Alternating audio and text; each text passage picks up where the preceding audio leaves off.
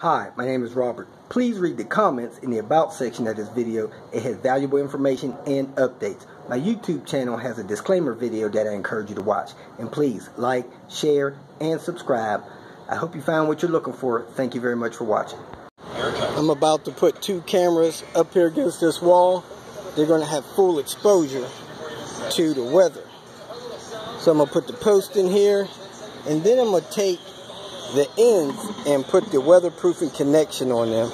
So let me go ahead and get these uh, anchors in the wall and get this camera box open and get all the connectors I need to weatherproof this.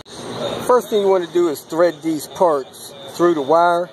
I'm going to put this on first, then the small rubber one, then thread it through that, and then fix the end of the wire onto the connector. There's the base, there's the rubber seal, there's the sleeve.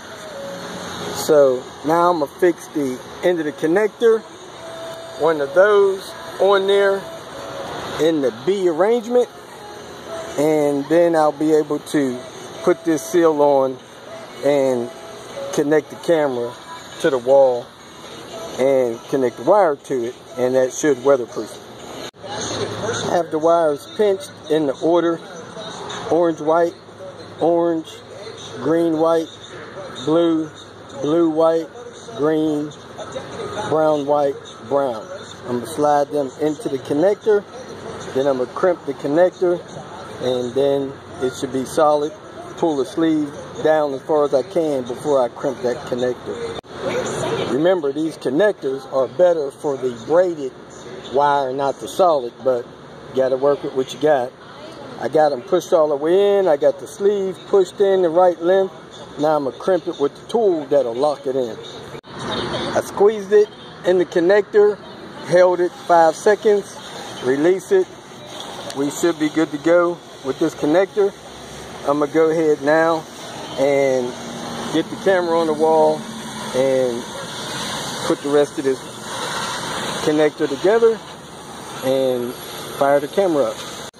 I'm to take this seal, put it over this connector, slide that stuff down that connector, plug it in, and twist lock it on.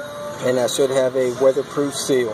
I'm to go uh, do the next camera, then check, make sure they're both on and properly aligned. Then I'll put in the set screws to set the screws in place and lock the cameras in so nothing should move them without effort. I put these up so that the cable comes out in the X pattern. I probably may have done a little better making it come out in a T pattern because that way if water goes in it, it could drain out the bottom, but this is probably not weatherproof, no big deal. This is how the connector look. The seal is around there the whole way. Try not to pinch it so that it comes out, but it's still being held. Screw this in tight. That's how the back of it looks. This should be weatherproof and not let any moisture in there and cause that connection to degrade. The camera's mounted. I have them, I believe, directed properly. Instead of going inside and looking at the monitor, I have the Flir app on my phone. So I'm gonna pull the cameras up on my phone position them properly, and go ahead and lock them down. If you feel that this information was useful, please like it and share it with your social media friends. You can subscribe to my channel so that you will get notifications of future videos that I post. You can follow me on Twitter, and if you need to contact me directly, please visit my website. And if you have any questions, leave them below, and someone or myself will reply to them. Again, thank you very much for watching.